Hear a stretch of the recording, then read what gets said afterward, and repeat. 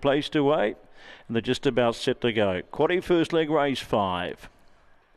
They're ready now. Red light turns to green. There's the wave and here's the lure. Set race five. Bang Racing, fast to eight, Hermosa. Here comes Calls for Carmen right across the outside. Double threat launches to the lead. And the top two, the eight and the five, are six lengths clear of Hermosa. Then Sanaya Bale, followed by Pumpkin Eater, Alexander, and also only you. But double threat, length and a half clear of Calls for Carmen. The gap the rest. Double threat kicking. Calls for Carmen coming. But double threat, the favourite prevails, a length and a half. Second in, Calls for Carmen, followed by Sanaya Bale, many lengths away into third placing. And then came behind them Alexander, followed by Hermosa Only You, Bale, and the race time 22 and 9.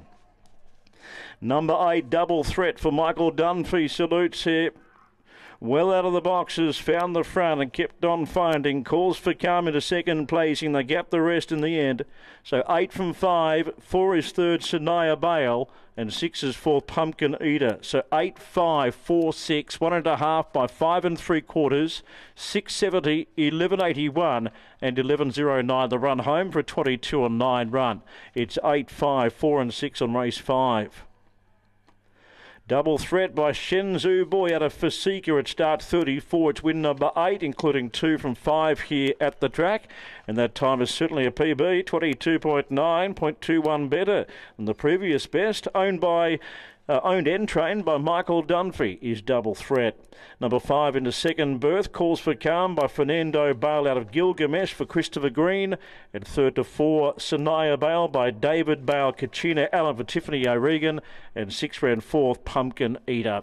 All clear to come on 8546. The winner at 250 and 140, 330 second, 180 third, Quinella at $24. We are standing by for the other exotics to come through on the previous race.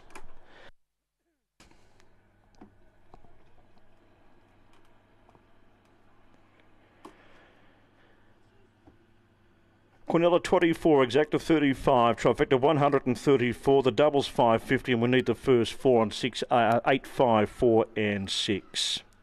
It's through now, $289.